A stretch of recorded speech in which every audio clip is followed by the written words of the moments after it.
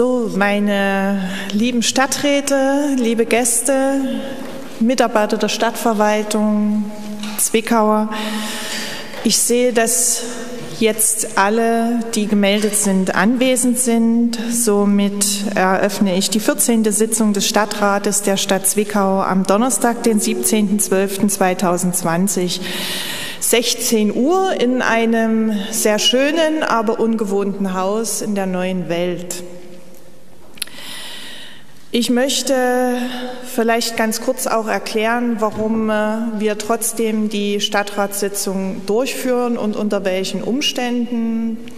Sicherlich ähm, wäre die Frage berechtigt gewesen, die Stadtratssitzung zu verschieben.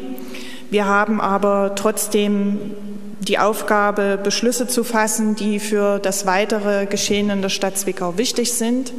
Wir haben uns im Vorfeld bemüht, die Tagesordnung so weit wie möglich einzukürzen und uns heute auf die wesentlichen Punkte zu beschränken.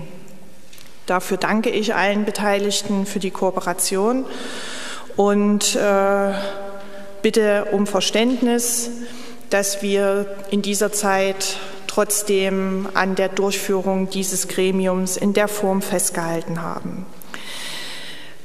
Vielleicht zum Anfang ein wichtiger Hinweis. Die neue Allgemeinverfügung Corona-Schutzverordnung regelt das Tragen der Mund-Nase-Bedeckung zu jeder Zeit dort, wo Begegnungsverkehr ist und auch während der Durchführung von Sitzungen lediglich beim Sprechen können Sie die Mund-Nase-Bedeckung herunternehmen. Ansonsten sollten Sie, müssen Sie die Mund-Nase-Bedeckung die ganze Zeit tragen. Ich würde gerne damit beginnen, dass ich die Frau Wöhl nach vorne bitte. Die hatte nämlich einen runden Geburtstag. Und auch Geburtstage sollte man in diesen Zeiten feiern und ehren.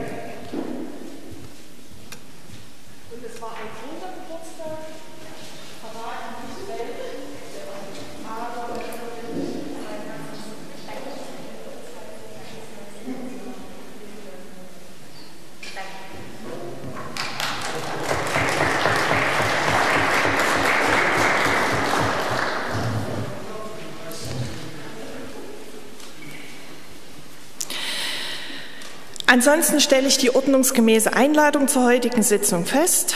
Es sind 37 Stadträte erschienen. Der Stadtrat, 36 Stadträte erschienen. Der Stadtrat ist damit beschlussfähig.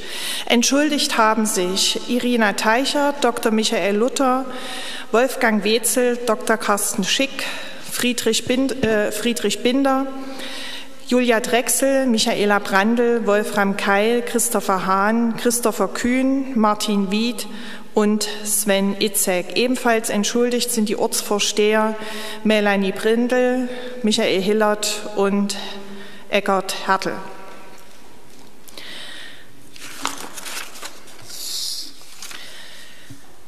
Wie Bevor wir in die Sitzung eintreten, möchte ich auf die üblichen Regeln zur Durchführung von Stadtratssitzungen hinweisen. Das heißt, ähm, Bild, Film, Video und Tonaufnahmen aller Art sind generell nicht gestattet, außer hier im hinteren Saalbereich, den ich der freien Presse für die Stadtratssitzung zugewiesen habe. Zweitens auch für das Konzert- und Ballhaus insgesamt gilt, es dürfen keine lärmproduzierenden Gegenstände benutzt werden. Mit Ausnahme von einfachen optischen Sehhilfen wie zum Beispiel Brillen dürfen sonstige optische Sicht- und Vergrößerungsgeräte wie zum Beispiel Ferngläser nicht benutzt werden. Transparente Plakate und Banner sind nicht erlaubt. Das Zeigen von politischen Aussagen, beispielsweise auf Kleidungsstücken, ist nicht gestattet. Flugblätter dürfen im Rathaus nicht verteilt und ausgelegt werden. Eine Störung der Sitzung, insbesondere Zwischenrufe, sind nicht gestattet. Drittens im Zuschauerbereich, das heißt auf der Galerie sind Handys und andere mobile Endgeräte auszuschalten. Diese Regelungen wurden aus gegebenen Anlass angeordnet. Sie dienen insbesondere dazu, den ordnungsgemäßen Sitzungsverlauf zu gewähren und für alle, die an dieser Sitzung teilnehmen, gerade auch für die Zuhörer ein Mindestmaß an Ordnung und Sicherheit herzustellen. Und dafür danke ich für Ihr Verständnis.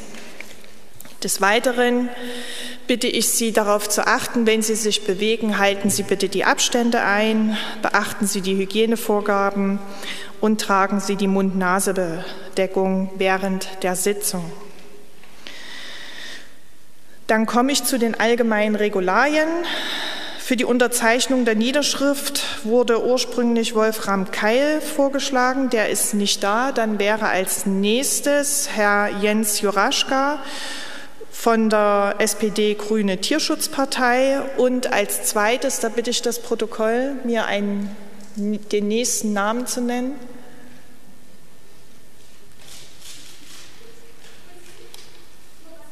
Der Thomas Kutzki ist anwesend, erhebt sich dagegen Widerspruch, das sehe ich nicht. Somit bitte ich Herrn Juraschka und Herrn Kutzki, das Protokoll dann entgegenzunehmen. Dann weise ich auf das Mitwirkungsverbot gemäß der, des Paragraphs 20 der sächsischen Gemeindeordnung hin und bitte Sie anhand der Tagesordnung zu prüfen, ob bei Ihnen zu den einzelnen Punkten der Tagesordnung Ausschließungsgründe vorliegen. Und in den Fällen, wo ein Stadtrat Befangenheit anzeigt, bitte ich Sie, dies im Vorfeld, bevor äh, der Tagesordnungspunkt verhandelt wird, anzuzeigen und gegebenenfalls sich dann aus der Sitzung zu entfernen bzw. in den Zuschauerbereich zu gehen. Die Niederschriften über die Sitzung vom 29.10. und den 17. November haben wir Ihnen zur Kenntnis gegeben. Einwendungen liegen mir bisher nicht vor und somit stelle ich angepasst.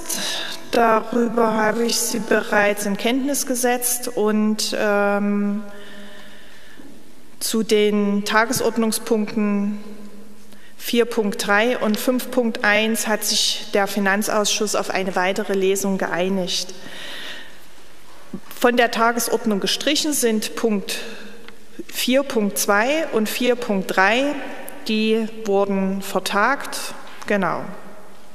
Somit würde ich dann trotzdem immer vor Eintritt in, die, in den jeweiligen Punkt nochmal der Form halber den Punkt ansagen. Gibt es weitere Anmerkungen zur Tagesordnung? Das sehe ich nicht. Somit ist Zustimmung für die Tagesordnung.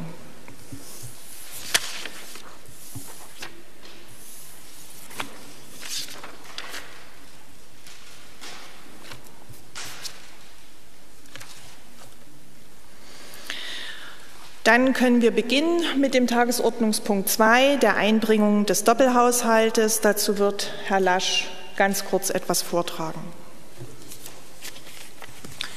Ja, sehr geehrte Frau Oberbürgermeisterin, werte Damen und Herren Stadträte, so wie der einzubringende Haushalt 2021-22 unter dem Zeichen der anhaltenden Covid-19-Pandemie steht, möchte ich auch meine Ausführungen der aktuellen Lage anpassen und verweise deswegen für die Einbringung des Haushaltes auf die Unterlagen, die Sie im Ratsinformationssystem einsehen können. Das wären zum einen der Entwurf des Haushaltsplanes 2021-22, zum anderen die Präsentation äh, jetzt zur Einbringung des Haushaltes und zum dritten äh, die Rede, die ich hätte gehalten, aber jetzt aus Zeitgründen nicht halten werde. Vielen Dank. Vielen Dank, Herr Lasch. Es wird sich sicherlich in der Zukunft ausreichend Gelegenheit bieten, über die Haushaltssatzung zu diskutieren. Der nächste Tagesordnungspunkt Nummer drei behandelt die Anfragen der Stadträte. Dort beginnen wir als erstes mit der Anfrage von Frau Breitenborn zu den E-Ladesäulen. Dazu wird Frau Köhler sprechen.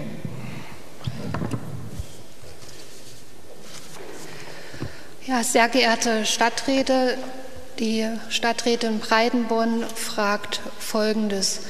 Ich würde von mehreren Bürgern der Stadt Zwickau darauf angesprochen, dass die E-Ladesäulen, zum Beispiel Drogerie Rossmann in Pölbitz am Neumarkt sowie am Globus, immer häufiger dauerhaft durch das Aufladen von Fahrzeugen besetzt sind. Hierdurch kommt zum Ausdruck, dass der Anteil der Elektrofahrzeuge stetig anwächst. Dies ist aus meiner Sicht grundsätzlich positiv zu werden.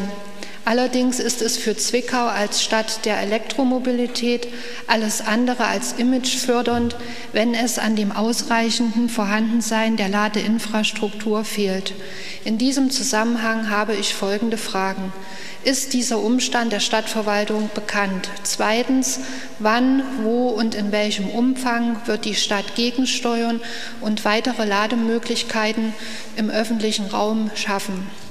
Ich bitte Sie auch um Verständnis. Wir haben alle Anfragen sehr ausführlich beantwortet und ich fasse es kurz zusammen. Frage 1. Der Umstand ist der Stadtverwaltung bekannt. Frage 2. Wie geht es weiter mit künftigen äh, Kapazitäten?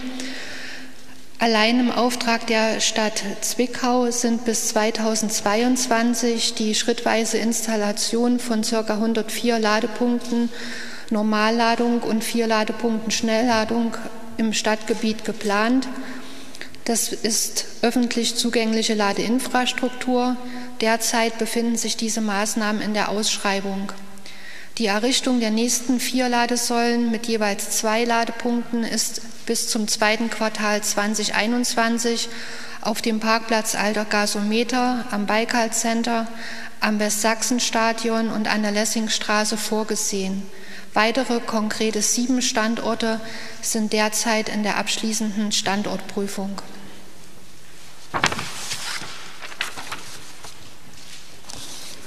Vielen Dank, Frau Köhler. Die nächste Anfrage kommt von Stadträtin Brückner und dort antwortet ebenfalls Frau Köhler. Frau, Stadt, Frau Stadträtin Brückner fragt, wie ist die Situation in der Stadt Zwickau mit der Bewältigung der erhöhten Sterbefälle?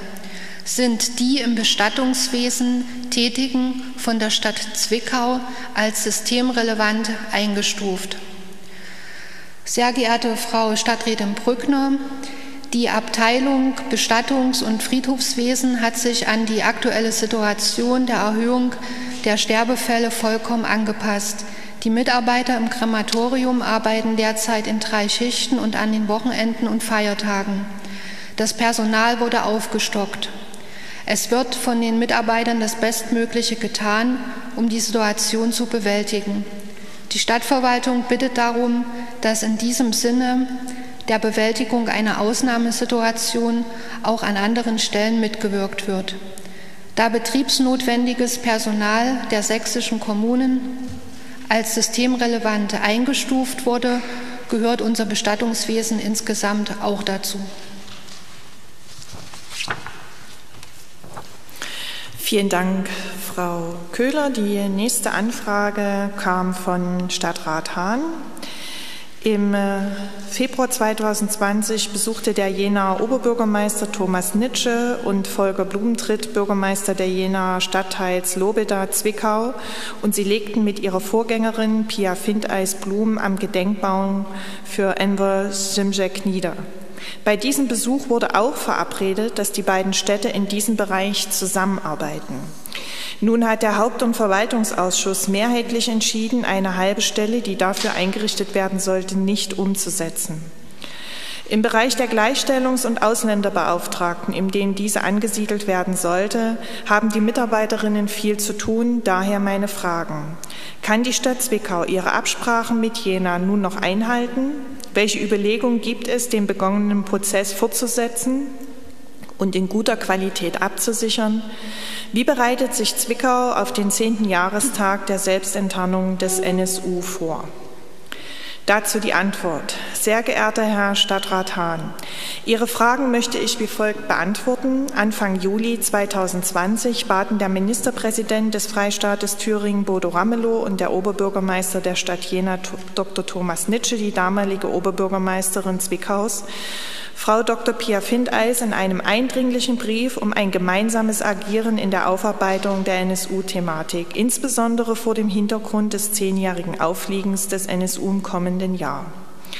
In Absprache zwischen der damaligen Oberbürgermeisterin, Frau Dr. Pia Findeis, und der Gleichstellungs-, Ausländer- und Integrationsbeauftragten, Frau Ulrike Lehmann, wurde daraufhin für den Bereich der Beauftragten die Bildung einer halben Stelle zur Bearbeitung der NSU-Thematik einerseits, besonders aber für eine Inhalt 2022 beantragt.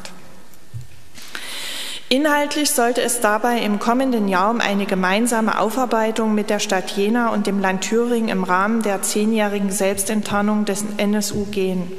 Erste Gespräche dazu fanden bereits über die Gleichstellungs-, Ausländer- und Integrationsbeauftragte statt. Eine Grobkonzeption Jenas liegt vor.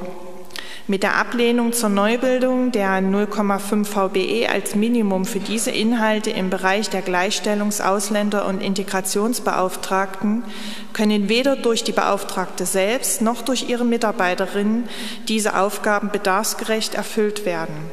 Es gibt auch keine andere Stelle innerhalb unserer Verwaltung, die diese Demokratiearbeit entsprechend des Aufgabenprofils von der Gleichstellungs-, Ausländer- und Integrationsbeauftragten mitbearbeitet.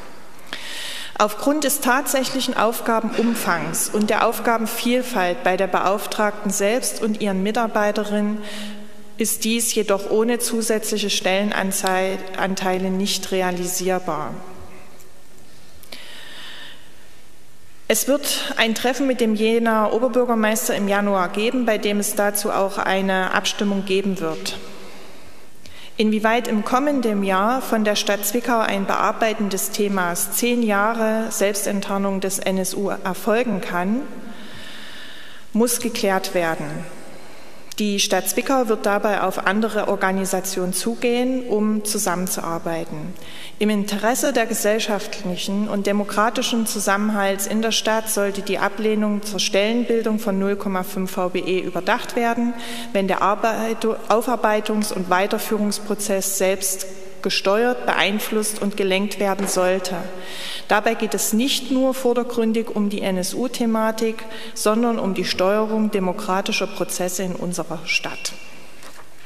Die Anfrage wird schriftlich die Beantwortung nachgereicht. Die nächste Anfrage kommt von Stadtrat Georgi und die Beantwortung übernimmt auch die Bürgermeisterin Frau Köhler. Ja, sehr geehrte Stadträte, Ihr Kollege Herr Stadtrat Georgi hat äh, folgende Frage an uns gerichtet. Aufgrund des langjährigen katastrophalen Gesamtzustandes der Gehwege im gesamten Gebiet Zwickau, zum Beispiel in Marienthal der Weg zur Rudolf-Weiß-Schule, der Eschenweg oder in Pölbitz der Weg zur Dittis-Schule, die Franz-Mehring-Straße gegenüber der AOK. Eingereichte Bilder sind von der Rudolf-Breitscheid-Straße Höhe, Höhe Malerpalette. Hierzu stellt Herr Georgi folgende Fragen. Nach welchen Kriterien der Forschungsgesellschaft für Straßenbau und Verkehrswesen sind die Ge bzw. Auflistung der einzelnen Gehwege nach Straßennamen und Zustandsklassen? Welche Gehwege nach Straßennamen beabsichtigt die Stadtverwaltung Zwickau in den kommenden Jahren 2021 bis 2024 zu sanieren. Herr Georgi bittet um Auflistung der tatsächlichen Pläne, die durch Haushaltsmittel unterlegt sind und nicht um die Wunschliste. Ja, Herr Georgi, bitte ich auch Sie noch mal um Verständnis, dass ich die sehr lange Beantwortung zusammenfasse. Im ersten Teil äh, haben wir Ihnen zusammengestellt, nach welchen Kriterien äh, wir die Gehwege bewerten. Äh, wir richten uns auch hier, äh, wie Sie das äh, aufgeschrieben haben, nach äh, der von der Forschungsgesellschaft für Straßenbau und Verkehrswesen aufgestellten Kriterien. Die Prioritätenlisten, die wir erstellt haben, wurden im Juni 2020 im Bauausschuss und im Finanzausschuss ausgereicht. Da Sie in den Fachausschüssen äh, nicht Mitglied sind, äh, werde ich Ihnen diese per Mail noch äh, zusenden. Und jetzt geht es um, möchte ich im zweiten Teil komprimiert eingehen, was wir konkret vorhaben. In den kommenden Jahren ist eine Instandsetzung bzw. Erneuerung folgender Gehwege geplant. Instandsetzung von Gehwegabschnitten in der Dürerstraße, Erneuerung Gehweg Gutenbergstraße zwischen Julius-Seifert-Straße und Antonstraße, Erneuerung von Gehwegabschnitten Franz-Mehring-Straße zwischen Schlachthofstraße und Kurt-Eisner-Straße, Instandsetzung von Gehwegabschnitten der Christianstraße, Ergänzung des Gehwegs zwischen Königswalder Straße und Rappendorfstraße, Instandsetzung des Gehwegs an der Reichenbacher Straße im Bereich Beck und Pollow. Folgende selbstständige Geh- und Radwege sollen künftig erneuert werden. Erneuerung und Ausbau des Geh- und Radwegs Erntestraße, vorbehaltlich der Bewilligung von Fördermitteln. Erneuerung Geh- und Radweg Fuchsgraben, auch diese Maßnahme steht unter dem Vorbehalt von Fördermitteln. Ebenso wie die, die kommenden zwei Maßnahmen, die ich jetzt nenne, Herstellung Geh- und Radweg zwischen Olsmannstraße und Hoferstraße sowie Herstellung Geh- und Radweg entlang der Stadtbahnstrecke. Im letzten Teil der Anfragebeantwortung ist dann noch der Fall äh, aufgeführt, äh, wenn wir mit anderen Medienträgern zusammen Maßnahmen durchführen. Auch hierauf äh, sind wir noch eingegangen, welche Maßnahmen äh, hier umgesetzt werden. Und konkret äh, der angesprochene Geh- und Radweg vor der Rudolf-Weiß-Schule wurde in diesem Jahr mit Fördermitteln grundhaft erneuert und im September wieder freigegeben. Vielen Dank, Frau Köhler. Die nächste Anfrage kommt ebenfalls von Stadtrat Georgi, beantwortet von Herrn Lasch. Herr Stadtrat Georgi hat festgestellt, dass es in Zwickau wieder vermehrt zu strafrechtlichen Graffiti-Schmierereien komme, zum Beispiel im Bereich Teehaus am Schlosspark, an neu instand gesetzten Straßenbahnhaltestellen, an den Arkaden, am Hauptmarkt sowie im kompletten Innenstadtbereich und an weiteren Gebäuden und Flächen. Er hat dazu Bilder zur Verfügung gestellt.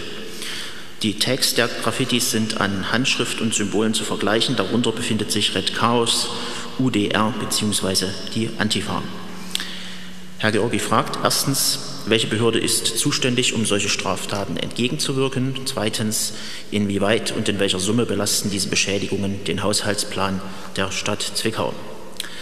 Sehr geehrter Herr Georgi, zuerstens Sowohl das Ordnungsamt als auch das Polizeirevier ist zuständig für die Bekämpfung von Graffiti. Der zu Recht kritisierte Zustand hinsichtlich illegaler Graffiti ist sowohl im Ordnungsamt als auch in der Polizeidirektion Zwickau bekannt. Leider kann dieser Form der Sachbeschädigung nur bedingt Einhalt geboten werden. Zu zweitens für die Beseitigung illegaler Graffiti fallen im städtischen Haushalt jährlich Sachkosten in Höhe von mindestens 10.000 Euro an. Die Beseitigung erfolgt in der Regel durch städtische Mitarbeiter des Bauhofs oder Garten- und Friedhofsamtes im Rahmen der üblichen Wartungs- und Pflegearbeiten. Der zeitliche Aufwand wird nicht separat erfasst. Vielen Dank, Herr Lasch. Gibt es jetzt noch weitere Anfragen, Dr. Elsel?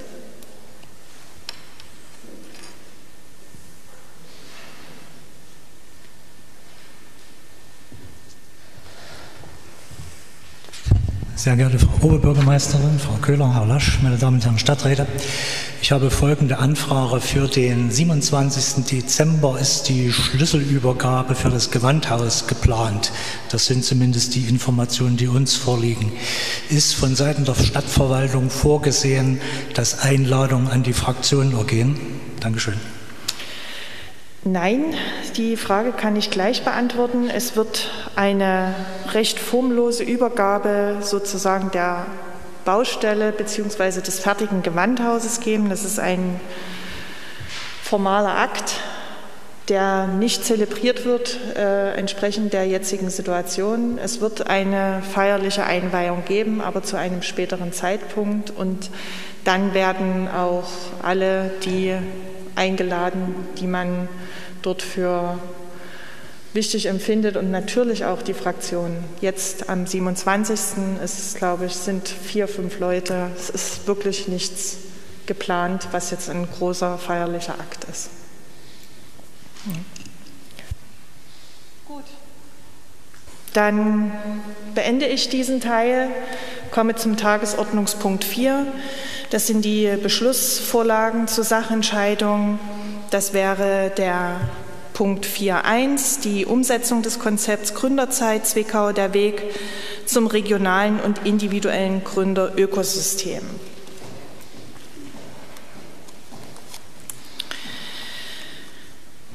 Als Kommune haben wir die Aufgabe, die wirtschaftliche Stärke von morgen sicherzustellen. Dabei besteht vor allem für Zwickau die Herausforderung, neue Unternehmen und Branchen für unsere Stadt zu gewinnen und junge Unternehmen dafür zu begeistern, ihr Unternehmen mit unserer Unterstützung in Zwickau aufzubauen. In der Vergangenheit gab es am 24.10.2019 im einen Stadtratsbeschluss, der die, das Büro für Wirtschaftsförderung beauftragt hat, Planung zur Realisierung eines Start-up-Centers zu priorisieren und selbst ein Konzept zur konkreten Umsetzung zu erarbeiten. Die erste Vorstellung dieses Konzepts äh, fand im Wirtschafts-, Umwelt- und Stadtentwicklungsausschusses in der Sitzung vom 10. Juni 2020 20 statt, um erstmal die, den Ausschuss über, eine, über das Grundkonzept zu informieren und äh, sich ein, das Einverständnis für das weitere Vorgehen zu holen. Es war eine insgesamt positive Entwicklung und ähm, das abschließende Konzept, die jetzt vorliegende Beschlussvorlage, wurde im Finanzausschuss am 3. November vorberaten beziehungsweise in die zweite Lesung gegeben. Der Wirtschaft, Umwelt und Stadtentwicklungsausschuss hat am 4. November mehrheitlich dem zugestimmt und dann auch der Finanzausschuss am 8.12. hat mehrheitlich zugestimmt. Wichtig ist bei diesem Konzept, dass wir ein sichtbares, lebendiges Gründerökosystem verankern, um die Gründungsbereitschaft in und um Zwickau langfristig zu erhöhen, optimale Voraussetzungen zu schaffen, um Gründung jeder Art zu fördern. Es gibt dabei drei Unterziele. Talente und Gründergruppen aktivieren, Netzwerk schaffen und stärken, Standortattraktivität aktiv gestalten und die Marktorientierung stärken. Die Gründerzeit Zwickau fungiert dabei als Dachmarke, unter der alle vorhandenen Aktivitäten der Gründungspartner vor Ort sichtbar gebündelt und ausgebaut und weiterentwickelt werden soll. Für die Sichtbarkeit und einen festen Punkt im öffentlichen Raum zu haben, ist ein Start-up Center geplant, das auch beschrieben wird. Und es gibt hierzu auch ähm, Vorschläge, wo das möglicherweise in der Stadt Zwickau verankert werden soll. Dabei ist natürlich wichtig, dass man eine Nähe zu Zielgruppen hat und äh, dieses ja, dieses Gründerzeitzentrum soll quasi als Anlaufstelle für alle, die sich mit dem Thema beschäftigen, etwas neu zu gründen, ähm, ja, herhalten. Was besonders positiv zu erwähnen ist, dass äh, die Wirtschaftsförderung mit dem Konzept, was sie hier erarbeitet hat, sich bei einem ja, einem Wettbewerb äh, beworben hat, dem Modellprojekt Best Practice Gründerökosystem in den neuen Bundesländern und dort von, bei 70 Bewerbern zu den zwölf Einreichern gehört, die auch Fördermittel erhalten dafür. Und das sind für die nächsten drei Jahre 260.000 Euro. Das ist also wirklich auch für uns als Stadt eine sehr willkommene Unterstützung. In der Diskussion ergab sich dann nochmal für den Beschlusstext eine Ergänzung und wenn das jetzt so gesehen wird, würde ich die Beschlussempfehlung kurz vortragen. Die Umsetzung des Konzepts Gründerzeit Zwickau, der Weg zum regionalen und individuellen Gründerökosystem, hat folgende Beschlussfassung. Der Stadtrat bekennt sich zur umfassenden Unterstützung des Zwickauer Gründerökosystems. Grundlage dafür bildet das Konzept Gründerzeit Zwickau, der Weg zum regionalen und individuellen Gründerökosystem, welches vom Büro für Wirtschaftsförderung ausgearbeitet und dem Beschluss beigefügt ist. Zweitens, das Büro für Wirtschaftsförderung wird beauftragt, die im Konzept beschriebenen Maßnahmen auf den Weg zu bringen. Hinsichtlich der im Konzept fokussierten Anmietung der Villa Falk werden weitere kommunale sowie private Objekte geprüft und vor Abschluss eines Mietvertrages dem Finanzausschuss zur Beschlussfassung vorgelegt. Bei der Umsetzung des Konzepts darf es zu keinem Stellenaufwuchs im Rahmen des Stellenplans der Stadt kommen. Drittens, die Beschlussfassung erfolgt vorbehaltlich des Inkrafttretens der Haushaltssatzung 2021-22 sowie vorbehaltlich der Gewährung der beantragten Fördermittel für die Umsetzung des Konzepts für die Haushaltsjahre 21-22 sind dementsprechend städtische Eigenmittel in Höhe von 65.000 Euro zur Verfügung zu stellen. Wer dem seine Zustimmung gibt, den bitte ich ums Handzeichen.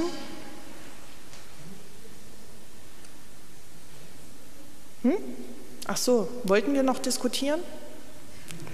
Dann ziehe ich die Abstimmung zurück und frage, möchte dazu. Dann bitte ich Dr. Elsel. Entschuldigung. Ich wollte es schnell machen. Ich habe es versucht. Ja, sehr verehrte Frau Oberbürgermeisterin, Frau Köhler, Herr Lasch, meine Damen und Herren Stadträte. Die AfD-Fraktion hat im vorbereitenden Finanzausschuss sich gegen dieses Konzept entschieden. Und das möchte ich auch begründen. Das liegt sicherlich am allerwenigsten an diesem recht sperrigen Namen. Da kann man ja noch drüber hinwegsehen. Aber wir erleben hier wieder eine Endlosschleife, wie wir sie immer erleben. In Aussicht gestellte Fördermittel dienen als Dosenöffner um dann Projekte zu implementieren, die hinten raus für die Stadt ökonomisch, finanzmäßig eine Belastung werden können. Es ist sicher richtig, dass durch die Förderung, wenn sie denn gewährt wird, äh, die allerdings nur von 21 bis 22 läuft, im Moment beim Start des Projektes wenig Kosten auf die Stadt zukommen. Die hier genannten 65.000 Euro sind sicherlich zu stemmen, aber ich gebe zu bedenken, 22 läuft diese Förderung aus, wenn sie denn überhaupt kommt. Hauptfinanzproblemposten werden wieder sein die Miete, ob nun Villa Falk oder irgendein anderes Gebäude. Äh, was da kommt. Wir lesen jetzt im Konzept, dass also mit 50.000 Euro Miete im Jahr gerechnet wird für das momentan vorliegende Projekt. Und hier im Konzept sind zwei bis drei Stellen neu konzipiert. Wir haben jetzt gerade im Beschluss gehört, das soll dann dem nicht so sein. Wir sehen das trotzdem sehr kritisch, denn auch diese Posten für neue Stellen werden ein Hauptkostenträger sein. Wenn man in die Kostenschätzung geht, und die Mühe habe ich mir gemacht, das mal durchzulesen, da sind hier interessante Aufwächse an zu stemmenden Summen.